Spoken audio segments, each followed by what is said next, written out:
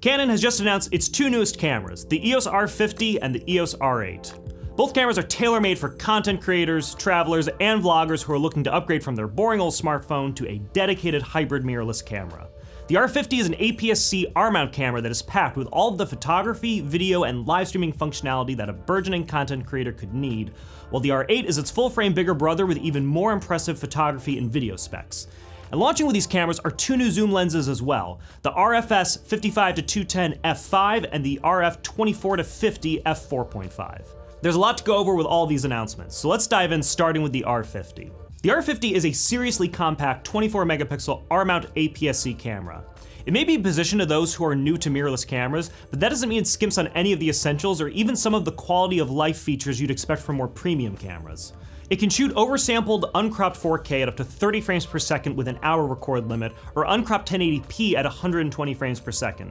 It also features Canon's tack-sharp dual-pixel autofocus, and when combined with a fully articulating touchscreen on this camera, you can safely vlog and trust that you or your subject will be kept in focus.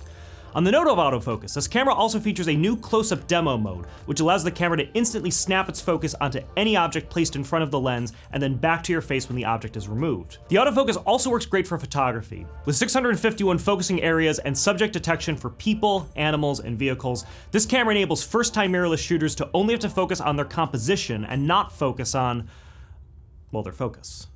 Also, with a maximum 15 frames per second shooting in electronic shutter mode, this camera also punches well above its class when compared to similarly priced mirrorless competitors.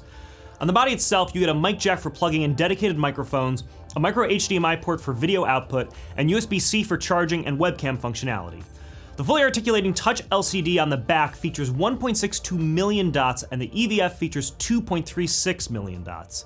Many cameras in this category don't even have an EVF, let alone one that is this high resolution. But for any creator who plans to take a lot of pictures, you'll thank yourself later for giving yourself the option to use it. Finally, the hot shoe mount on the top is also multifunctional, meaning that it can seamlessly communicate with certain mics and other accessories like speed lights.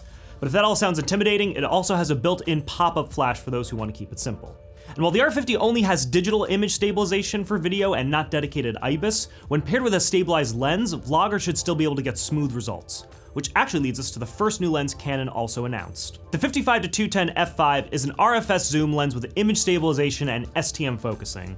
While it definitely features a robust telephoto focus range, it also boasts some excellent close-up focusing as well, with a minimum focusing distance of 2.4 feet. Its stabilization is rated at 4.5 stops lens only, but when paired with a camera with built-in IBIS like the EOS R7, this jumps to 7 stops. And despite being on the larger side, it's still surprisingly lightweight, weighing even less than the comparable RFS 18 to 150mm. But for those who want to make the jump into full-on full-frame photography and video, Canon also announced the new EOS R8. This 24 megapixel full frame camera shares the same sensor as the recently released EOS R6 Mark II, meaning you can get the same excellent image quality as Canon's premium mirrorless camera, but without the premium price. On the video side, the R8 is capable of shooting up to 60 frames per second in 4K and up to 180 frames per second at 1080p. Pure 4K video is uncropped, oversampled from 6K, and has a maximum record limit of two full hours. And the video the R8 records is high quality as well, up to 10-bit 422 with the ability to shoot Canon Log 3 and HDR PQ.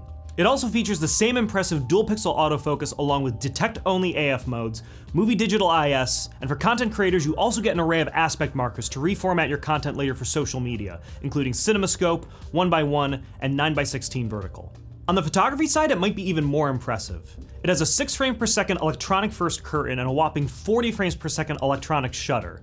In its raw burst mode, it also includes Canon's life-saving, okay, that's maybe a bit hyperbolic, photo-saving, pre-shooting support. This feature allows the camera to start recording images half a second prior to the moment you press the shutter release button, which can absolutely be the difference between getting the shot and missing it when shooting sports or action photography. On the body itself, you get a similar array of ports and features to the R50 mic jack, micro HDMI, USB-C for charging and webcam, a fully articulating LCD and high-resolution EVF, with the addition of a remote port and a headphone jack. Finally, alongside this new full-frame camera, Canon has also announced a new full-frame zoom lens, the RF 24-50 f4.5. Just like the 55 to 210, this lens is also image stabilized and is super lightweight, just over half the weight of the RF 24 to 105. Featuring the same 4.5 stops of stabilization lens only, this lens will seriously smooth out shakes in the photos and video on a camera like the R8, and on a camera with IBIS like the R6 Mark II, This lens will provide an impressive 7 stops of image stabilization for buttery smooth video and photos. And that is a very brief look at all of the new cameras and lenses from Canon. We had a blast taking them out for a day to put them through their paces, and we think content creators will enjoy using them as well. The R50 is a great option for new photographers or content creators who want an accessible first camera that is still feature packed enough to grow with them as they get more experienced.